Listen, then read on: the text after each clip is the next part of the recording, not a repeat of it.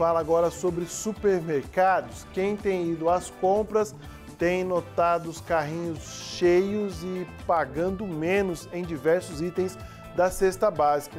E isso tem refletido no consumo três lagoense. Confira na reportagem. O consumo das famílias aumentou no ano de 2023, segundo dados da Associação Brasileira de Supermercados, a Abras. Entre janeiro e agosto, a pesquisa apontou um aumento de 2,5% em comparação ao mesmo período do ano passado.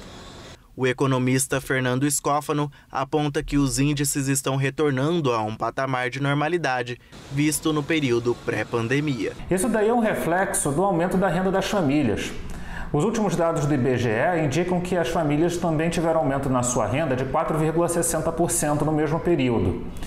Isso aí traz pontos positivos para o consumidor, visto que, além do aumento da renda das famílias, o preço dos alimentos vem caindo.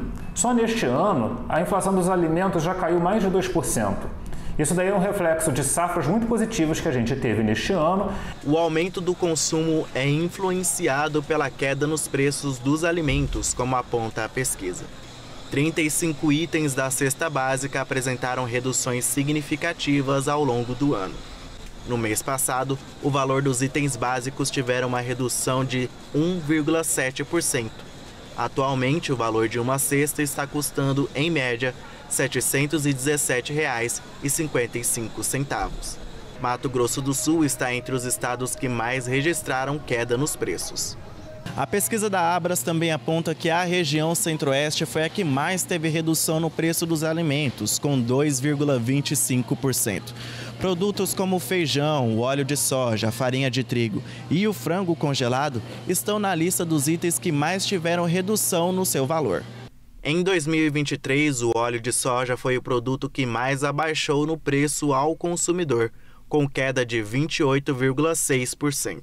Em seguida, vem o feijão, com redução de 12,7%. As carnes bovinas também se encontram na lista. Os cortes traseiros, como colchão duro e colchão mole, por exemplo, caíram 12% no valor este ano. E os cortes dianteiros, como a acém e o peito, reduziram em 9,2%. O leite longa-vida caiu 3,3%, os ovos em 3% e o frango congelado reduziu o valor em 2%. Quem precisa fazer as compras do mês já tem notado a diferença de valores. A Marina é dona de casa e sempre vai ao supermercado para pesquisar e levar os produtos necessários para manter o lar. Como uma boa observadora, ela já tem a lista decorada sobre quais alimentos estão mais baratos. A carne mesmo reduziu bem o preço e os legumes, tem alguns que já tá, eh, reduziu um pouco o preço, café, feijão, o arroz, o óleo, que nossa, a gente estava pagando tão caro no óleo, né? O leite também, a gente estava pagando quase 12 reais no litro de leite. Aí agora já abaixou bem. Aí tem as promoções do supermercado, então a gente acha bastante coisa em conta. Mas abaixou bem o preço, sim, graças a Deus. A Caroline também identificou que as compras no supermercado deixaram de pesar tanto no bolso.